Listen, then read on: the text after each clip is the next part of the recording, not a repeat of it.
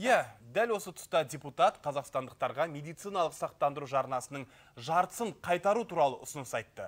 Одан бөлек қазірдің өзінде мәмс бойынша наразы тұрғындарының аргументтері де жиі жеткізіліп тұр. Бұл ұсыныс мәселені майшамен қарауға түрткі болғанда шығар бәлкім. Өкіметті, өкілетті мамандардың жауабын дәл қазір студия төрінде білгіміз келеді. Бүгін бізде қонақта әлеуметтік медициналық сақтандыру қоры жеке және заңды тұлғаларымен жұмыс жөніндегі департамент директоры Забия Забира Оразалиева ханым келіп отыр. Забира ханым, қош келдіңіз. Қош келдіңіз, төрлетіңіз. Қалыңыз қалай, келіңіз жайғасыңыз. Иә. Забира ханым, енді мәміс мәселесі қазір қоғамда қызу талқылап жатыр ғой, түрлі ұсыныстар айтып жатыр. Ә, жаңағы м, 15 пайыз ғана халықтың ә, осы жарнаны пайдаланып жатыр деген ә, әңгіме болып жатыр. Жалпы осы алдымен тоқталып кетейікші, мәміс арқылы қандай қызметтерді тұрғындар ала алады? Жалпы айтқанда. Иә, мәміс жүйесін көбіміз шынымен естиміз, білеміз, бірақ иә. шын мәнінде түсіне бермеймін жұмысы қалай жүргізілетінін. мәміс жүйесінде жалпылап айтқанда медициналық қызметтің барлық түрін алуға мүмкіндік бар. Ол үшін сақтандырылған азамат Не істеу керек? сақтандырылған азаматтың оған медициналық көрсеткіші болуға тиіс ең бастысы. Егер де ол ә, пациенттің өз қалауымен жасалынатын зерттеу болатын болса ол әрине оған жолдама берілмейді. Сондықтан бұл жерде ең бірінші түсініп алатын нәрсе ол адамның ағзасына байланысты және медициналық сараптамадан кейін жаңағы медициналық ә, зерттеп иә зерттеулер қажетті зерттеулерді оны дәрігер шешеді. Қай зерттеу керек? Ә, мынандай ә, жаңағы күдік қандай да болмасын дертке күдік болған жағдайда деген сияқты енді мәмс жүйесінде ең ә, жаңағы қазіргі таңда ә, мысалы айтатын болсақ мрт иә?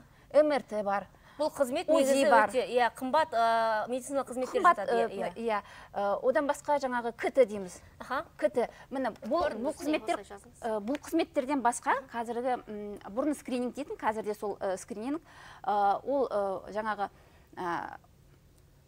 ә, онкологияға қатысы бар ә, дерттердің ә, жаңағы бар жоғын анықтау үшін алдын ала жасайтын зерттеулер.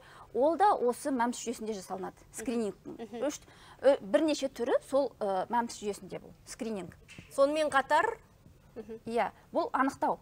Скрининг, тексеру өтеуден. Иә, тексеру Толық тексеруден өту. толық тексеруден өтеміз. Бұл, бұл жерде скринингтің ішінде сіздер мысалға ә, айтатын болсақ әйел азаматтардың ә, жаңағы маммологқа баруы қарастырылған. Мамандар. Бұл жерде осы мәмс жүйесінде қандай да болмасын мамандардың мамандандырылған ә, дәрігерлердің мысалы да мамандардың қабылдауы. Маман. Ә, өйткені сіз кепілдендірілген тегін медициналық көмектің аясында сіз тек қана өзіңіздің учаскелік дәрігерге ба- бара аласыз. Ал қалғанда мамандардың қандай да болмасын қызметі ә, жаңағы консультациясы болсын зерттеуі болсын оның бәрі осы мәмс жүйесінде көрсетілетін қызметтер.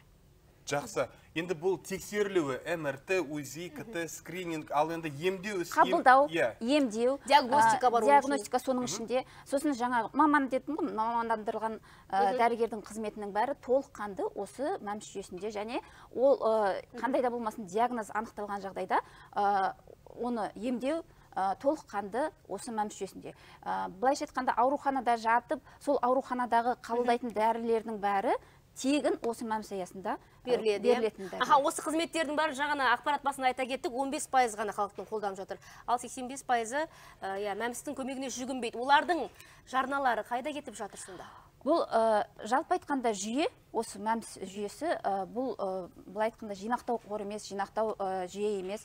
Және де бұл жерде азаматтың ә, жаңағы жеке сандық нөміріне қаражат түскеннен кейін ол азаматқа сақтандырылған мәртебесі беріледі да ал қаражат оның атында жинақталмайды. Бұл жалпы қорға түсіп жалпы қорда осы биылға түсіп жатқан қаражат биыл көрсетіп жатқан қызметтің ақысын төлеуге жұмсалады. Ол басқа ә, бағытта жұмсалуға тыйым салынған заңды түрде. Сондықтан тек қана ә, төлемге көрсетілген медициналық қызметтің төлемін жасауға Яғни жеке адам басына құйылған қаражат саналмайды, иә? жеке адам басына құйылған қаражат саналмайды. Жинақтаушы емес бұл. жинақтаушы емес. Мысалы айтатын болсақ мына скринингтің ішінде өтіп жатқанда егер енді құдай бетін аулақ қылсын ә, қандай да болсын обыр жағдайы болатын болса обырға шалдыққан жағдай болсын ол жерде бірінші алатын көмегінің өзі өте қымбат көмектер. Оның ішінде операциясы да бар. Неше түрлі өте жоғары технологиялық операциялар бар. Оның бір жай ғана операциясы жеңіл желпі дегеннің өзі кемінде 200-300 мыңды құрайды. Ең жеңіл ең оңай операциялар. Ал ә, басқа да ö, өте күрделі операциялардың бәрі ә, миллиондаған қаражат тұратын ә, операциялар. Мгм. ал енді жаңағыдай э, жүріңіз енді отырым орнымызға жайғасайық енді. Иә қымбатты көрермендер осы жерде айта кетейік э, біз э, мәміс медициналық мақ- э, э, міндетті медициналық сақтандыру туралы әңгіме қозғап жатырмыз. Егер де осы сұраққа егер де қазір егер де сұрақтарыңыз болса біздің тікелей эфирге хабарласыңыздар біз тікелей эфирдеміз. Ал енді қазақстан республикасының парламент депутаты ринат зайытовтың осы мәміске байланысты айтқан пікірі бар болатын. Осы видеоны тамашалап алайық. Мәмс туралы менің айтылған ойым сол қалпында. Өйткені бұл мен қайталап айтамын дұрыс зерттеліп дұрыс жетілмеген күйде ұсынылып кетті енгізіліп кетті. Сол, сол себептен мен әзірге халық зардабын ғана көріп жатқандықтан тоқтата тұрып ұсынғам. Бірақ ол жағынан да жасалып жатқан жұмыстар жоқ емес құдайға шүкір. Біздің әлеуметтік мәдени даму комитетінің жұмысы алғашқы нәтижелерін бере бастады мысалы қазір мәмсте шкала деген болатын межесі сол алынып тасталды. Осынша болу керек деген қағидат жоқ болады енді. Ә, одан кейін жаңағы балалар ауруханасын ә, қосымша қаржыландырады қаржыландыру өсті. Бұл да балалардың сапалы ем алуына ә, дәрі дәрмек алуына үлкен септігін тигізеді. Бірақ жұмыс тоқтаған жоқ ары қарай жалғасып жатыр. Менің айтқаным күнде халық зардабын көріп жатқандықтан жарты жылға болсын тоқтата тұрайық әзірге жетілдіріп алғанша деген бірақ өкінішке қарай тоқтай қойған жоқ сондықтан біз өзіміздің тарапымыздан комитеттен ә, тоқтамай жедел жедел ұсыныстар беріп оны тезірек халықтың ыңғайына жығып беруге келтіріп беруге асығып жатырмыз мінекей ринаттың пікірін жалпы естіп жүрсіздер ғой? Мәміске байланысты сіз не айтасыз? Тоқтату мүлдем тоқтату мүмкін бе бұл? Негізі ә, тоқтату деген әңгіме ол ә, дұрыс емес әңгіме өйткені қазіргі жеткен жетістіктерімізден біз кейін шегереміз өте ә, қатты алыс кетіп қалуымыз қалыс қалуымыз мүмкін. Осы жеткен деңгейімізден дәрежемізден өте кейінге шегінуіміз мүмкін. Сондықтан бұл жерде тек қана алға қарай жылжу керек даму керек ә, және де ә, медициналық қызмет жүйесін ә, жалпы жүйені жетілдіру керек. Ал бұл мәселе шынымен де осы э, жиналыстарда көтеріліп қаралып жүр ме? Әрине қаралады. Бұл жерде мысалы ә, көбінесе азаматтар айтып жатады мен не үшін төлеймін? Ә, мен ол қызметті пайдаланған жоқпын деген сияқты. Біз жаңа айттық қой ә, мысал ретінде жаңағы егер де қажетті бір операция қажет болып жатса сол операцияны жасайды. Ол жалпы қордағы жиналған қаражаттан жасалатын операциялар болғандықтан бұл жерде ә, ә, бәріміздің де үлесіміз бар. Ал жеке адам бас тарта ала ма мәселен төлеуден? Жоқ бұл ә, бұл жүйеге қатысудан біздің осы қазақстан азаматтары ә, бас тарта алмайды. Өйткені бұл міндетті ә, жүйе міндетті болғандықтан әрқайсымыз осыған атсалысуымыз міндеттіміз. Иә жаңағы мәртебе беріледі дедіңіз ғой арнайы. Иә. ал э, сол мәртебе қанша уақыт жарна салмаса жойылады? Жалпы оны қалпына келтіру мүмкін бе? қалпына келтіру мүмкін. Заңда негізі екі тәсіл бар. Бұл ә, жүйеге кірігудің. Мысалы ретінде егер ә, азамат жұмыс істеп келе жатқан жұмыс, жұмысшы ретінде оған төлем жасалып тұрған болса ол бір кездері жұмыстан шығып кеттік де, шығып кетті делік. онда ол үш ай бойы мысалы жұмыс тапқанға дейін жаңадан жұмысқа тұрғанға дейін мысалы үш ай бойы ол шартты түрде сақтандырылған болады. Бірақ сол ә, төленбеген үш айдың ә, сақтандыру жаңағы жарнасын өз тарапынан кейін өзіне өзі төлеуші ретінде төлеуіне мүмкіндік бар. Былай анығын айтқанда төртінші айда ол сақтандырылған мәртебесінен айырылады.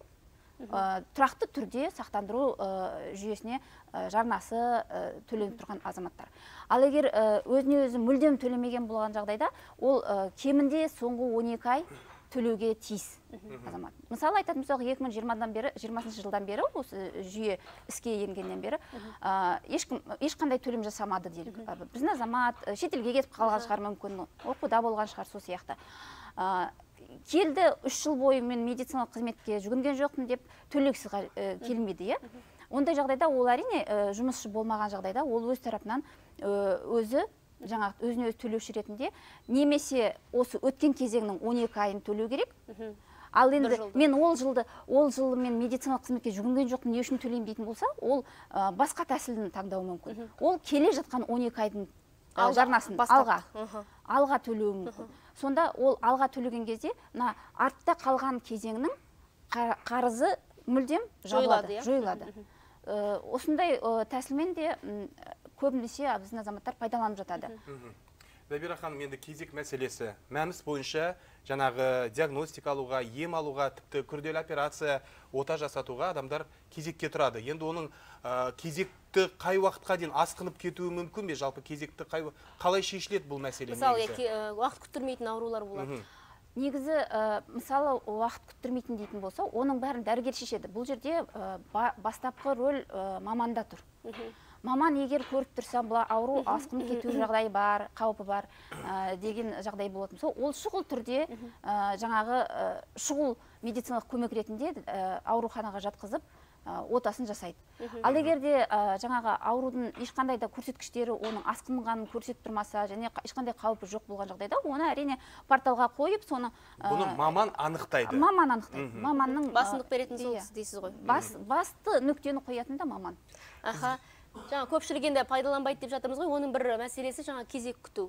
Шынымен де ауыра қалған кезде ә, жазылу керек. Алдын ала бір екі апта бұрын тіпті бір айға дейін созылып кетеді. Осыны реттеу мүмкін емес пе? Негізі басты мәселе жүйедегі осы ғой. Ә, негізі бұл ә, медициналық көмектің ә, қолжетімділігін қолжетімділігіне қатысты мәселе. Бұл әрине ә, жаңағы әрбір медициналық мекеменің ұйымдастыру жұмысына қатысты нәрсе. Өйткені әрбір бас дәрігер өз, тара- өз тарапынан өзінің мекемесіне мүмкіндігінше ә, барлық медициналық қызметті қолжетімді етуге міндетті. Ол әрине сол кезде ә, дәрігер жетпей жатқан жағдайда ә, тіркелген азаматтарының саны өте көп болған жағдайда ол басқа да медициналық мекемеге барып ә, сонымен келісімшартқа тұрып қарауға болады ә, со- соған жолдама беретін қылып келісуіне Иә, мүмкіндіктер забира бар ханым түсінікті. Енді ә, мәмс дегеннен кейін бізге көрермендер де хабарласып жатыр. Ендеше біз қазір Қоңырау қабылдасақ, эфирге иә. қоссақ қайырлы күн. Тыңдап отырмыз. Сауалыңыз болса мархабат. саламатсыз ба айта беріңіз. Алло? Эфирде. Мынау медициналық сақтандыру бойынша қысқы емдеуге бола ма соны сұрайын деп едім жақсы түсінікті. Рахмет.